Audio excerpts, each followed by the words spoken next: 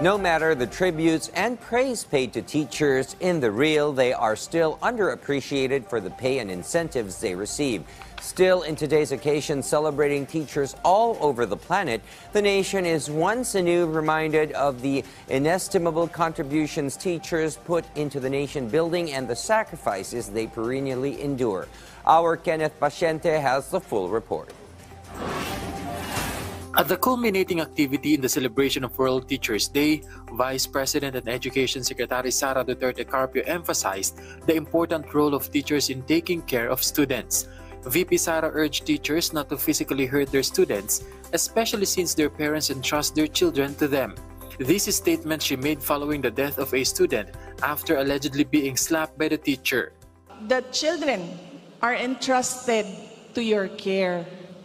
Dili ninyo dapat ginahilabtan ang mga bata. Whether it be physical, sexual, um, verbal abuse, you don't do that to children, especially those that are entrusted to your care fully by the community, by their families. VP Sara added that teachers are the students' second parents so they should be molding them as the country's future.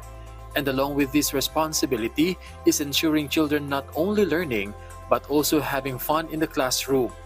Always keep that in mind that whatever you do will affect the life of that child.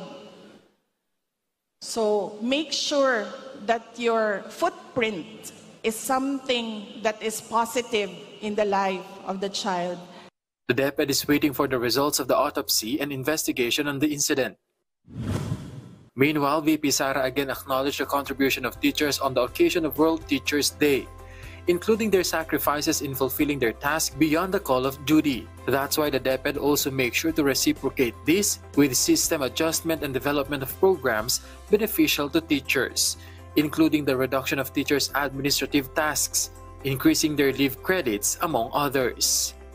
It is through your strength and resilience that you can inspire and empower your students to be their best selves. Matatag teachers make matatag learners make a matatag nation. In a Facebook post, President Ferdinand R. Marcos Jr. extended his greetings to the teachers. According to the president, the country has a huge debt of gratitude to the teachers who educate the youth. He also assured the current administration is also focused in meeting their needs. According to the DepEd, teachers will receive a 1,000 peso incentive in celebration of World Teachers Day. Kenneth Paciente for the Nation.